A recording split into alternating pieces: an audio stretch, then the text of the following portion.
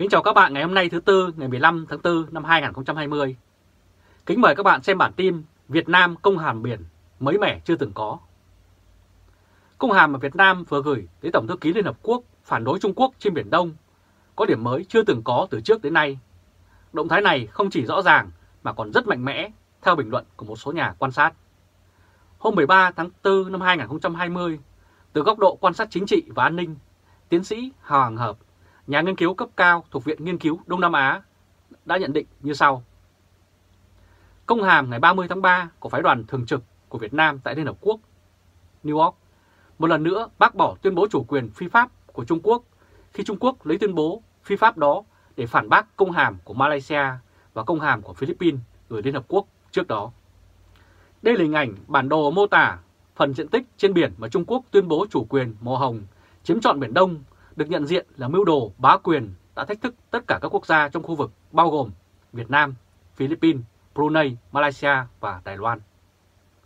Trung Quốc đang lợi dụng tình hình cả thế giới chống đại dịch cúm Vũ Hán để đẩy mạnh các hoạt động phi pháp của họ ở Biển Đông và Hoa Đông, Hồng làm thay đổi cấu trúc an ninh, trạng thái, địa chính trị, chiến lược, tiếp tục khẳng định chủ quyền phi pháp tại Biển Đông và đe dọa các nước trong khu vực.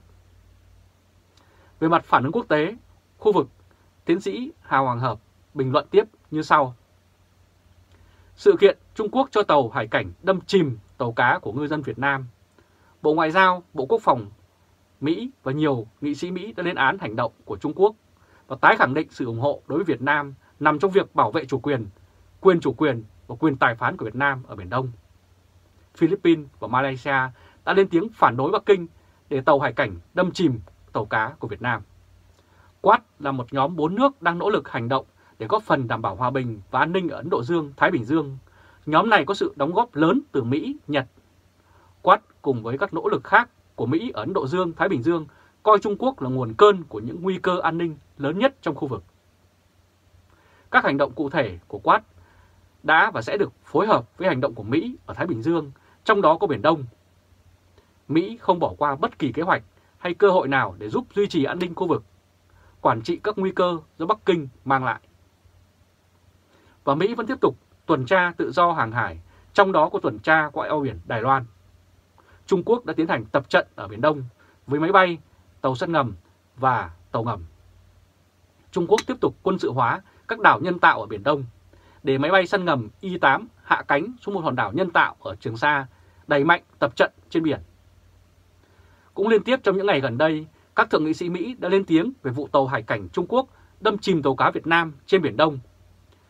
Và đây là hình ảnh sau vụ tàu hải cảnh Trung Quốc đâm chìm tàu cá của Việt Nam, Thượng nghị sĩ Tom Cotton vào hôm 11 tháng 4 đã đưa ra thông cáo chính thức khẳng định Mỹ đứng về phía Việt Nam để bảo vệ chủ quyền và người dân trước sự hung hăng của Trung Quốc ở Biển Đông. Ông là nghị sĩ thứ 5 của Hoa Kỳ lên tiếng về vụ việc này. Và cũng hôm 11 tháng 4, Thượng nghị sĩ Cộng hòa của bang Arkansas Tom Cotton đã đưa ra thông cáo về việc tàu hải cảnh của Trung Quốc đâm chìm tàu cá của Việt Nam gần quần đảo Trường Sa. Trong đó có đoạn Trung Quốc tấn công các ngư dân để thực thi các yêu sách bất hợp pháp trên Biển Đông. Mỹ đứng về phía đồng minh và đối tác của mình tại Đông Nam Á, đặc biệt là Việt Nam, trong việc bảo vệ công dân và chủ quyền của họ khỏi sự hung hăng của Trung Quốc. Ông Tom Cotton đã nói trong bổng thông cáo như vậy. Ông Tom Cotton là nghị sĩ Mỹ thứ năm lên tiếng về việc Trung Quốc đâm chìm tàu cá của Việt Nam và triển khai máy bay quân sự ở Biển Đông.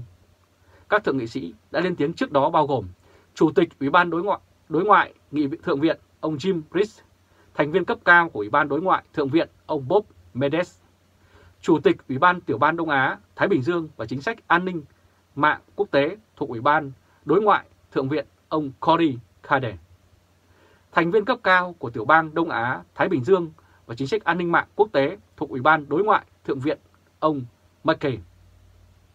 Và thông tin về tàu hải cảnh của Trung Quốc đâm chìm tàu cá của Việt Nam và các hoạt động khác của Trung Quốc trên các thực thể được cải tạo trái phép ở Biển Đông là rất đáng lo ngại, ông Riss đã tuyên bố như vậy. Đây là hình ảnh ba chiếc tàu hải giám của Trung Quốc cùng uy hiếp tàu cá của ngư dân Quảng Ngãi trước khi đâm chìm tàu này vào hôm 2 tháng 4 năm 2020 Hình ảnh này được ngư dân cung cấp cho báo chí. Ngoài ra, Chủ tịch Ủy ban Đối ngoại Thượng viện nhấn mạnh rằng đây là những ví dụ mới nhất về việc Trung Quốc đe dọa các nước láng giềng nhằm áp đặt tuyên bố chủ quyền trên biển quá đáng của mình. Theo ông Rich, Trung Quốc đang cản trở ổn định khu vực tại thời điểm cộng đồng quốc tế cần đoàn kết để đối phó với đại dịch cúm Vũ Hán. Trong khi đó, Thượng nghị sĩ Medes chỉ trích Trung Quốc tiếp tục cách hành xử gây hấn và gây chia rẽ ở Biển Đông và nhấn mạnh mọi quốc gia trong khu vực Ấn Độ Dương, Thái Bình Dương phải được tự do, không bị cưỡng ép trong một khu vực được quản trị bởi luật pháp, các quy chuẩn và thể chế quốc tế. Ông Carden đã lên án hành vi của tàu hải cảnh Trung Quốc và cho rằng đây là một sự vi phạm trắng trợn luật pháp quốc tế. Ông Carden kêu gọi chính quyền Mỹ lên tiếng trước các hành động của Trung Quốc và tiếp tục tái khẳng định quyền tự do hàng hải và hàng không trên Biển Đông. Thượng nghị sĩ McKay thì cho rằng Mỹ cần phải tiếp tục hỗ trợ các đối tác và đồng minh trong khu vực của mình bảo vệ tự do hàng hải, dòng chảy thương mại tự do và tuân thủ các thỏa thuận quốc tế. Trước đó, Bộ Quốc phòng và Bộ Ngoại giao Mỹ cũng đã lên án tàu hải cảnh Trung Quốc là thủ phạm đâm chìm tàu cá Việt Nam trên Biển Đông, đồng thời nhấn mạnh Washington sẽ tiếp tục hỗ trợ các đối tác bảo vệ tự do hàng hải. Nhà nghiên cứu Trương Nhân Tuấn ở Việt Nam thì phản đối các yêu sách của Trung Quốc, cụ thể bao gồm 5 điểm chính như sau. Một là chủ quyền hai quần đảo Tây Sa tức là Hoàng Sa của Việt Nam và Nam Sa tức Trường Sa của Việt Nam. Hai là vùng biển của các cấu trúc luôn nổi tại Hoàng Sa và Trường Sa phải được xác định theo điều khoản 121 khoản 3 của Công ước của Liên Hợp Quốc về luật biển 1982, UNCLOS 1982. Ba là các nhóm đảo ở Biển Đông bao gồm Hoàng Sa và Trường Sa không có đường cơ sở vẽ bằng cách nối các điểm ngoài cùng của các cấu trúc xa nhất.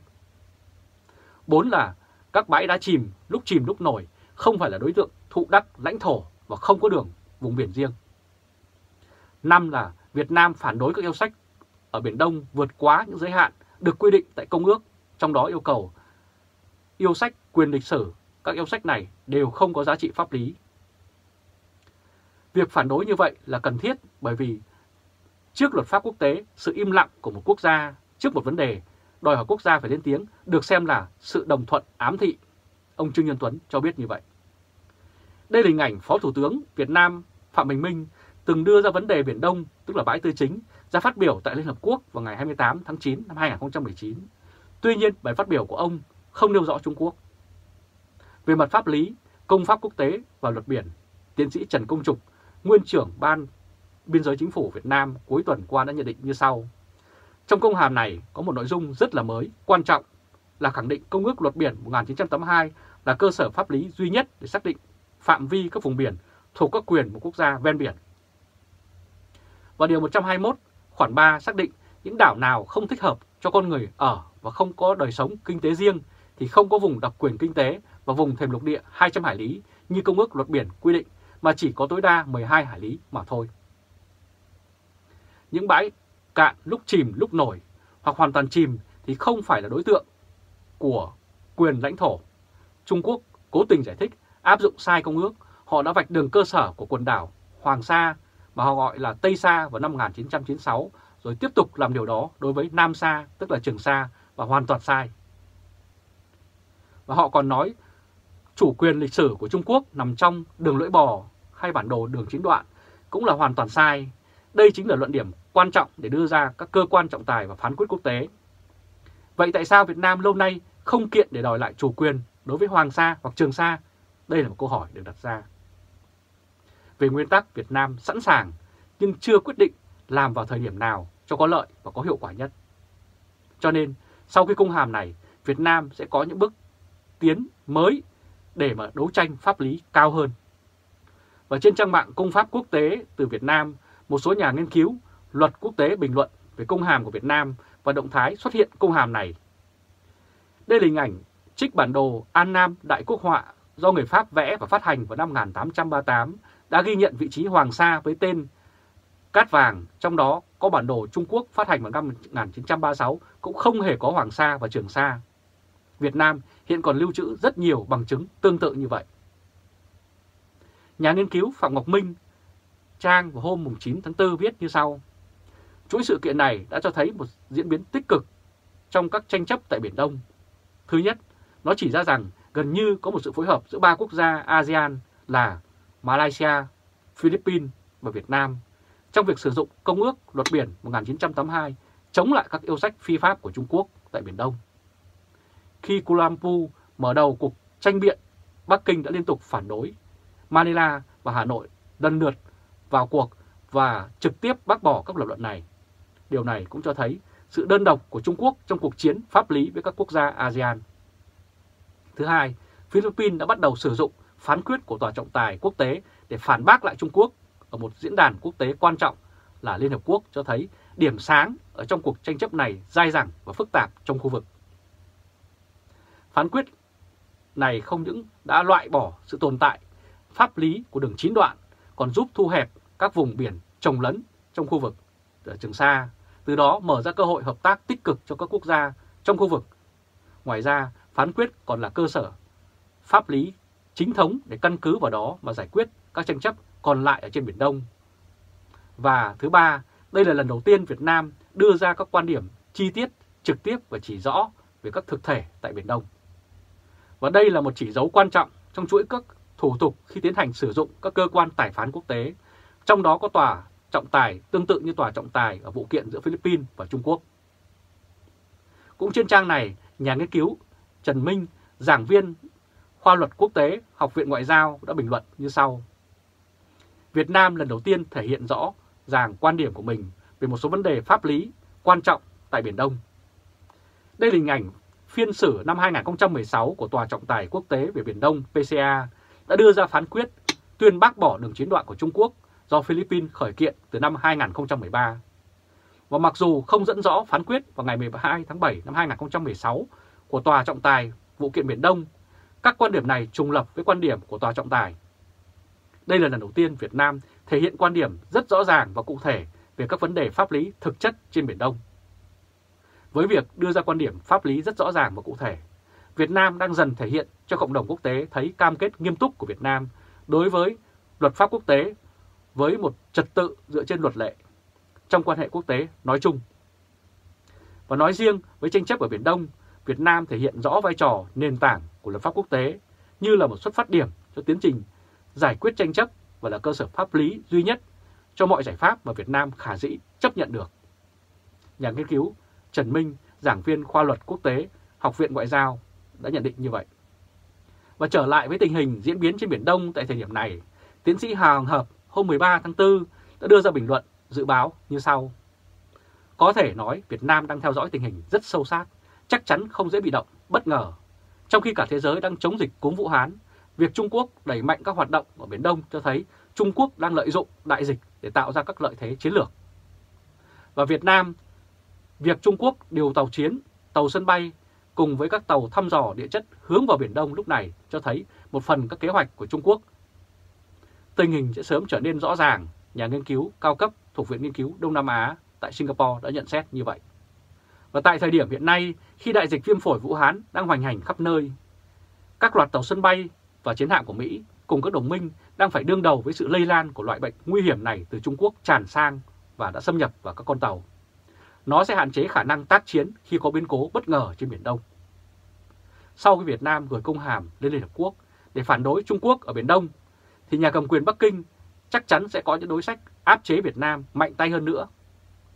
Mọi việc đều có thể xảy ra và quân đội Việt Nam phải chuẩn bị cho mọi tình huống bất ngờ. Các bạn vừa theo dõi chương trình truyền hình trực tiếp của Lê Trung Khoa, Thời báo.de ngày hôm nay thứ Tư ngày 15 tháng 4 năm 2020. Bản tin Việt Nam cung hàm Biển Đông mới mẻ chưa từng có. Các bạn hãy chia sẻ video này cho nhiều người biết và bấm nút theo dõi YouTube và Facebook của Thời báo.de để luôn nhận được những bản tin mới nhất, nhanh nhất và trung thực nhất. Từ Berlin, Cộng hòa Liên Đức, chào các bạn và hẹn gặp lại các bạn vào bản tin lần tới. Trung Khoa, Thời báo.de